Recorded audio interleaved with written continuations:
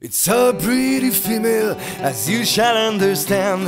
She had a mind for roving and to foreign lands. Attired in sailor's clothing, she boldly did appear and engaged with the captain to serve him for a year. She engaged with the captain, a cabin boy to be. The wind being in favor, so they put out to sea.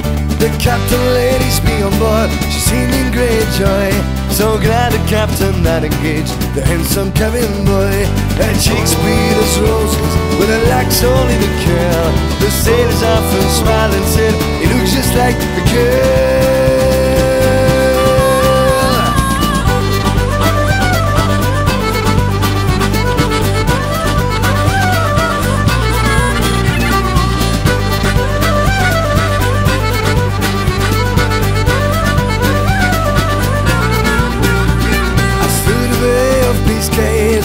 She did blow.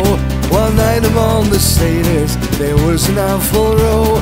They burned out from their hammocks They did the rest destroy And laughed about the groanings Of their handsome cabin boy. Oh doctor, oh doctor The cabin boy did cry. The sailors swear by all that's good The cabin boy should die. The doctor ran with all his might And smiling at the fun. For to think a sailor lad should have But oh there are a son That cheeks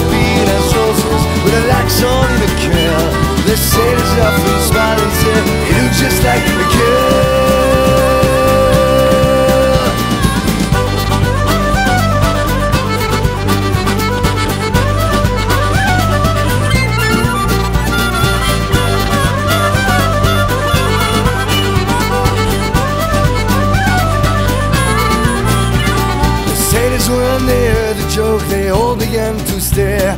The child belongs to none of us, they solemnly did swear. The lady to the captain said, My dear, I wish you joy. For it's either you or I betrayed the handsome cabin boy. So they all took up a bumper and drank success to trade. And likewise to the cabin boy, for neither man nor maid. And if the war should rise again, the sailors to destroy, we would keep some other sailors like the handsome cabin boy.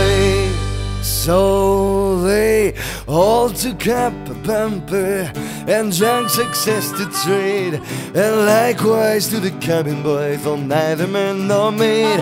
And if the war should rise again, the sailors to destroy, we'll ship some other sailors like the handsome cabin boy. Her cheeks beat as roses with her locks all in a curl. The sailors often smile and said, "He looks just like a girl."